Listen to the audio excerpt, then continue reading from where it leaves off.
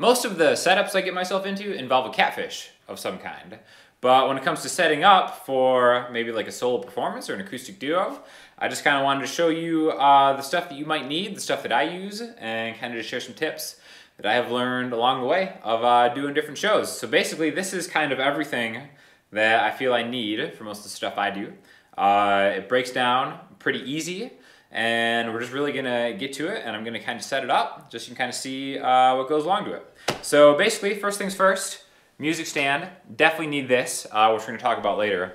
But I kind of want to go through the bag right now, okay? So, really, got a lot of junk in this backpack right here. First of all, we've got a mixer. Now, do you need a mixer? It really just depends on your PA system and how many channels, how many tracks you need to have going. Now, for what I do, I generally uh, need at least three at any one time. Uh, I've got this Yamaha MG10XU mixer. I think is really great, has a lot of features. Uh, I can answer questions on this if you guys have them. But uh, anyways, all of my microphones, anything that is gonna run through the PA goes through the Yamaha mixer. And to run this, you need like a power supply.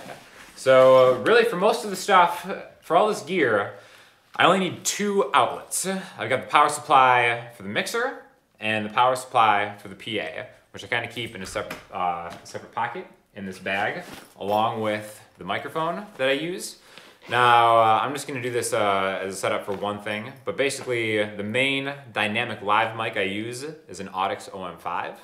Uh, really solid microphone, has a tight pickup pattern so it won't pick up a lot of external noise because depending on the venue that you're playing in, there might be kind of some noise that you don't want amplified.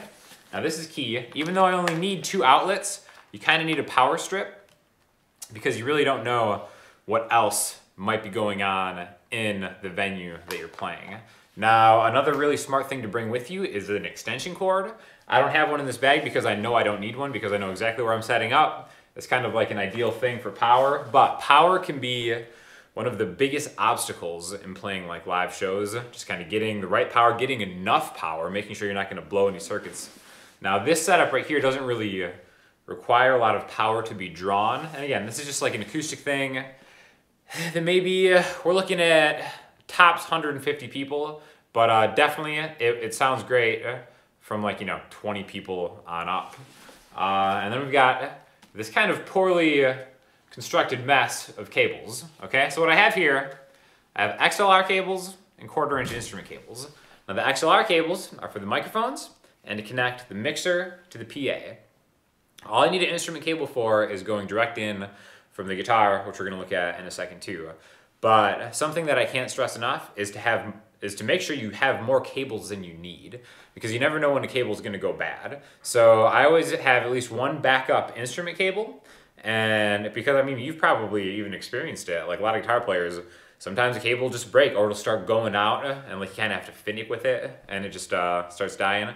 Nothing worse than being in a live performance and then you kind of like run out of what you need cable-wise. Okay, so I always carry at least one extra XLR, one extra quarter inch cable, even if I don't need that much. And then last but not least in the pack is an iPad, some kind of tablet. These are invaluable because, uh, you know, some of the some of the gigs I play, we have to do like 60, 70 songs. It's good just to have a cheat sheet of the chords to kind of remember some of the ones that maybe you haven't got down because I'm a big fan of trying to incorporate as many new things as possible to keep playing live fresh and interesting for whatever you're doing. Uh, also too, uh, it's easier to take requests if you have an iPad or you're able to look it up on your phone in a way that you can actually see it while you're playing. So definitely an iPad, some kind of tablet is a must. So right now we're gonna get to the PA system and this is a Bose L1 compact which I've had for a long, I've had this thing for like six years and it's actually like pretty awesome. Uh, the cool thing is it breaks down super small. It's got some extra pockets here for like the carrying case. Again, I've got an extra XLR in here and I have an eighth inch auxiliary jack that you can use for like if you're taking a break or something. You can kind of just like pump anything off like Spotify or anything on your phone. Unless you have uh, a new iPhone, in which case you need an adapter. Come on, Apple, it's messed up. But the beautiful thing about this PA specifically is it breaks down super, super easy. And they have like other ones now that kind of do the same thing. But again, I like Bose. I think it sounds pretty good. You just have these, uh, you turn this into a tower. So uh, the sub is actually the bass and the tweeter kind of just like slips in like that. And then you can take these like extensions to kind of make as tall or small as you want. So again, depending on the venue, you could actually just have it as, as small as this or just kind of like how it was when I first set it up. But most of the time you kind of want to use the whole thing because it just get, it covers a lot more spread when you're doing it. So basically, once you plug this in, this is set up. And uh, for a lot of for a lot of stuff, what you can do is there's actually a microphone in and a guitar in built into this, so you might not even need a mixer. But again, for what I do, I definitely need a mixer because I usually don't do it solo. I usually do it with one other person. Which brings us to the stands, of which I have two. Now these are boom microphone stands, and again, I've got two of them because I can't perform solo. So much of what I do depends on me being mentally ready to make jokes or just kind of chat with people. So the second person in the duo needs to be able to carry some of the heavy lifting, but I'm gonna set this up as one thing. Now, a boom stand is basically just a stand that has an arm that you can kind of extend to whatever you need.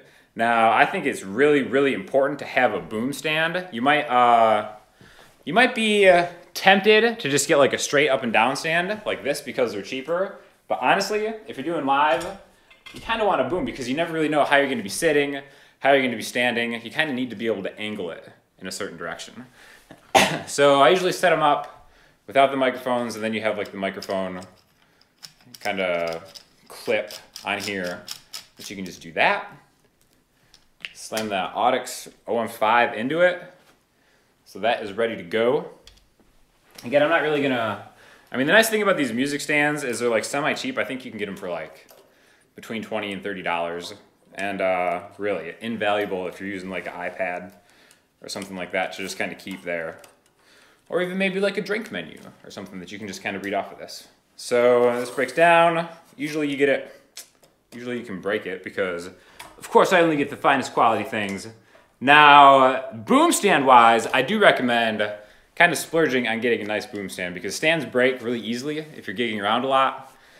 These are the DR Pro ones, which I think they're actually like, I think they're actually like 60 bucks, which they might even be like $70. But I'm so happy that I splurged on getting a decent boom stand because it makes all the difference. Like the cheap $25, $30 ones you see at Guitar Center or wherever else, I promise you, those will break on you. I promise you that's gonna happen. All right, so we got all this. Now, again, depending on what kind of gig it is, other things you might need would be like a, like a little table or a chair or something like that.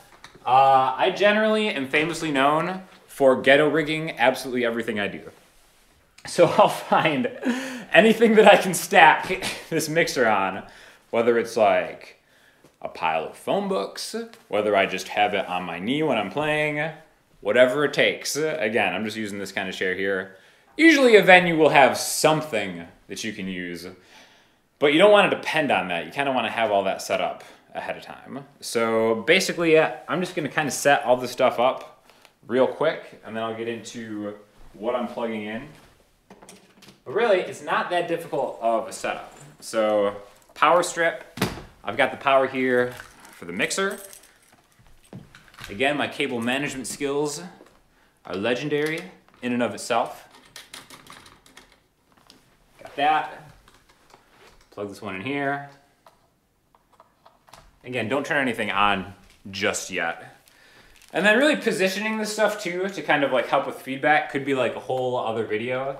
Because if you're super close, if you're sitting right in front of the PA, most likely you're gonna get a lot of feedback in a live situation. So sometimes that'll take a little bit more experimenting into kind of what you're gonna end up doing eventually. So let me get this iPad out of the way.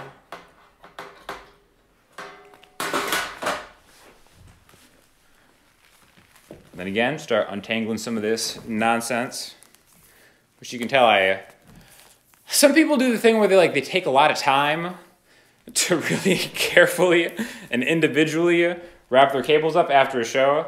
Usually what I do is I'm out of there as quick as possible, so I jam everything into the backpack and hit the road. So this one is XLR cable that is going from the left stereo out, which this isn't a stereo setup, it's just mono. So usually the left channel is like the mono one out that you get, and this just plugs in right to the PA.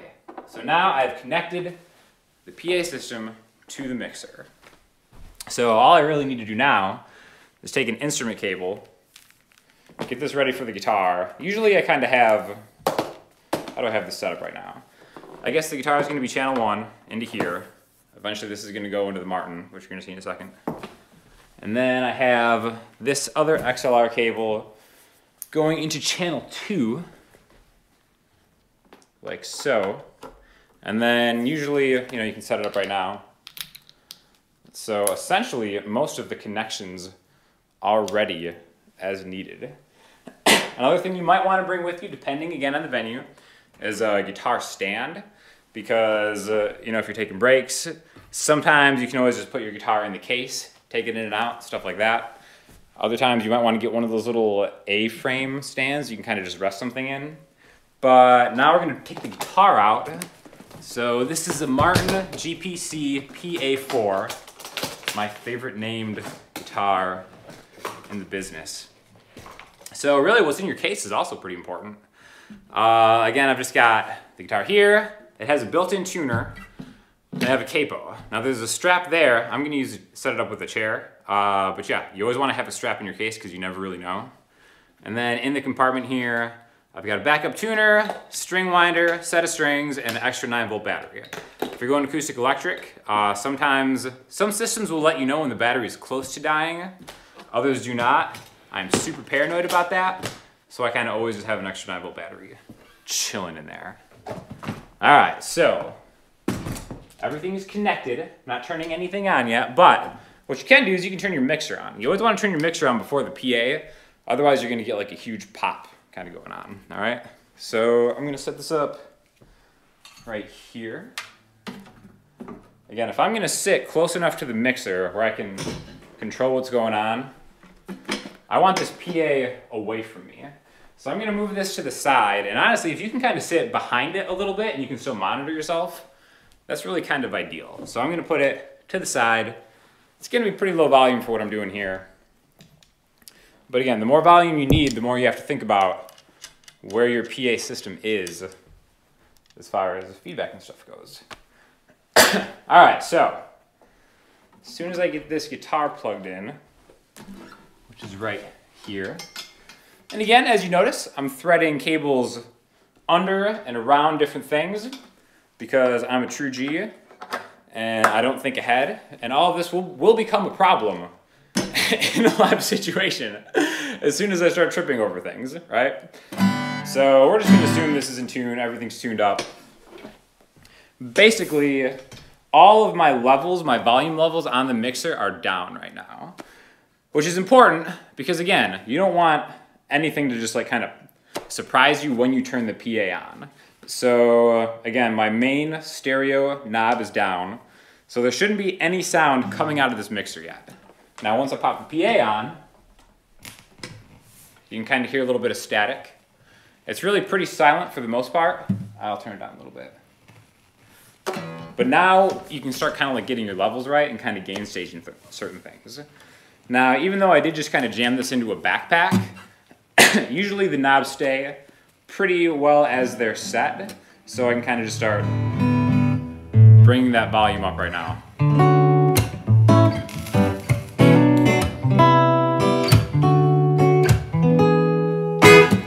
So that kind of sounds all right. Uh, I've got a little bit of reverb or delay or something on there. And then I can kind of figure out what's going on here. You can check it. Now again, as you can tell, up here, I'm not really getting a lot of signal because of the pickup pattern of this particular microphone. So the sooner I get into it, the more you can kind of hear it. So uh, eventually you're gonna wanna kind of balance your levels out like this. But, I mean, that's pretty, like, I'm pretty good to kind of get going right now. I don't even know what kind of effect I have going on here. I'm not really sure what was happening the last time I had this going. But, right now, I am good to go. I'm good to go to play a solo gig and uh, just start rocking it out. So basically, if you have any questions or comments of maybe questions on uh, any of the gear that you see here, maybe some comments on anything that, you know, maybe some gear that maybe you use and you like to use, you want to kind of help other people out and just share your expertise, let the comments be a message board for any aspiring gigging musician. Because as soon as you, it's really like a confidence inspiring thing. Like a lot of people are kind of like shy when they first maybe want to start doing something. But my advice, as soon as you make yourself go do something, whether it's an open mic night, whether it's something like that, it's just all great experience, you know, and it'll just make you a better player. Uh, and, uh, you know, just kind of maybe uh, over time, you don't need all this stuff right away. Over time, build up a mobile gig, and eventually you can just start getting the show on the road. So thanks a lot for checking everything out. And if you have any questions or comments, hit me up. I'll talk to y'all soon. Thanks a lot.